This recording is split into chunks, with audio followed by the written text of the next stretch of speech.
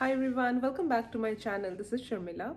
Uh, today uh, I'm gonna do a quick tour of our hotel JW Marriott. Uh, we were here for three days. We came to India for a family um, gathering and uh, we were here in Kolkata for three days and uh, this was our place and it was just beautiful.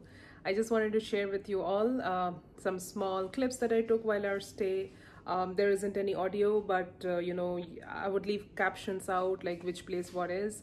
Um, the room was awesome. We we got upgraded to the executive uh, room uh, with a view. And as you can see in my background this is uh, how it looks like. Uh, the, the this big building as you can see right behind me this is ITC Royal Bengal.